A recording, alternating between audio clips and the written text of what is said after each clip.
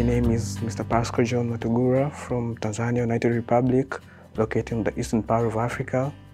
I am actually a researcher and botanist from the University of Dar es Salaam. I participated in the research because I believed that I had some value to add. I had some ideas to add the company towards restoration biodiversity conservation. The topic of my QL project is the study of soil seed banks, above ground vegetation, and species regeneration. I was actually checking on how to interrelate these three concepts to interrelate the soil seed banks, how species generate, and the ground vegetation within the Wazo Hill Quarry located in Tanzania. My objective was to study the interrelationships of soil seed banks, ground vegetation, and species generation, and also checking how to use the soil seed banks appropriately so as to restore the area.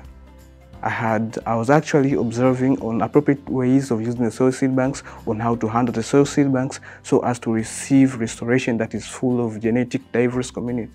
The results that my project actually revealed that the quarry is capable of, is capable of supporting the survivorship of seedlings. That gives a go-ahead for the use of soil seed banks towards restoration. That means that the quarry itself can support seedlings from germinating and to survive. And apart from that, the study revealed that the seed banks of the depth within 0 to 15 centimeter were capable of allowing regeneration, at the maximum number of soil seed banks, and if properly used, it can regenerate the area appropriately.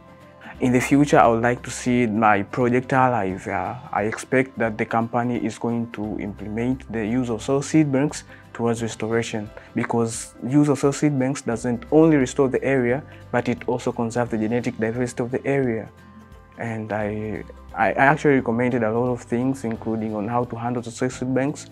So I expect that the company is going to, is going to, to, to use this project as a way of restoring the area.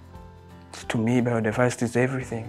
Biodiversity is the air that I breathe, it's the food that I eat, it's the health that I have, and it's the environment that I'm living. To me, biodiversity is everything. It's actually everything. It actually means life, it actually means everything to me.